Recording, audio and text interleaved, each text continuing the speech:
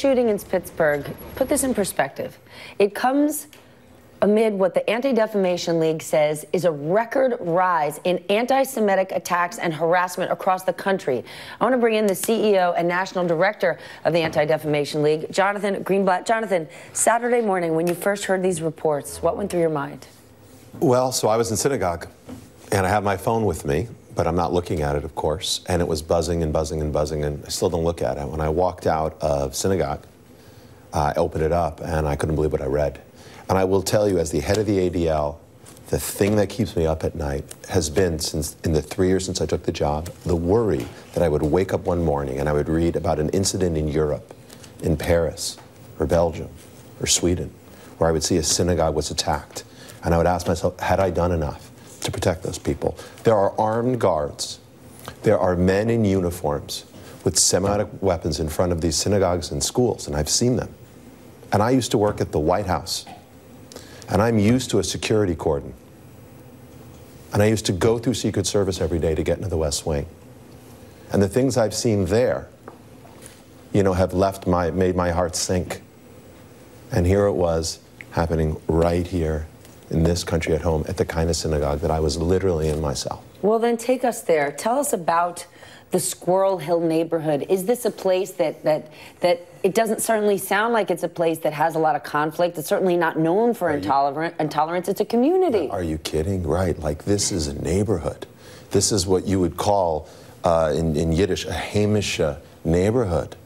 And this is, these people were grandparents and mothers and fathers. In this neighborhood, my, my phone and my email have been inundated over the last 48 hours with people telling me I was married there, I grew up there, I went to Hebrew school in that synagogue, I was bar mitzvah in that very place. Literally, a member of my communications team called me almost in tears on Saturday. So this hits home. And I think something that's important to note, you know, racism isn't only the problem of black people, it's all our problem. And homophobia isn't the problem of only gay people, it's all of our problem. Anti Semitism only isn't an issue for the Jewish community, it is everyone's problem.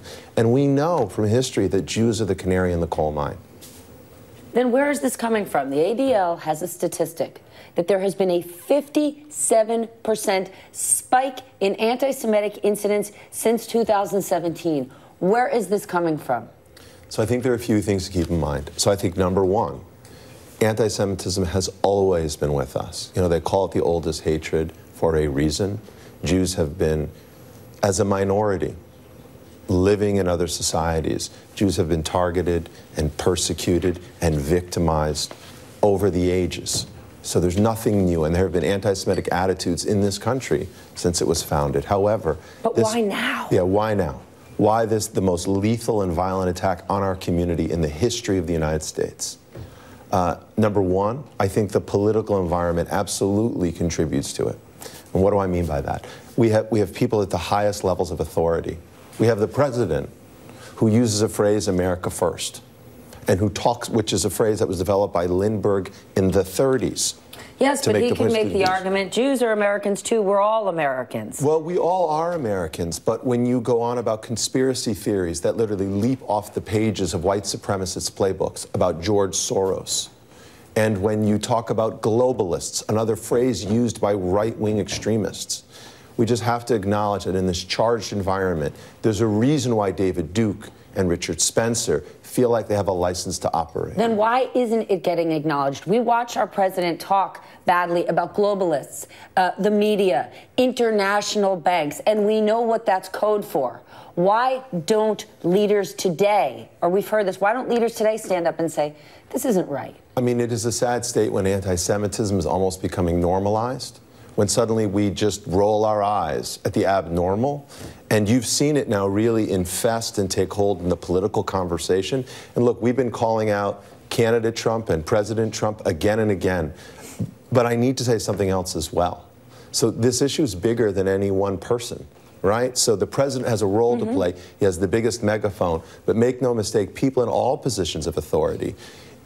And here's what I mean that 57% increase which is very real. These are acts of harassment, vandalism, and violence. We saw almost a 90% increase of acts on colleges and universities. And oftentimes we see anti Semitism on campuses, and university presidents are slow to call it out. And we saw almost a doubling, a doubling of anti Semitic abuse and bullying and harassment at K through 12 schools. Literally 94% year on year. And too often, principals and even parents roll their eyes and say kids will be kids. So I would suggest that everybody has a responsibility. Everybody has a position who has a position of influence to interrupt anti-Semitism when it happens. Take it as deadly seriously as we saw the consequences can be this past weekend. Thank you so, so much. Please. I hope everyone's listening to that. I want to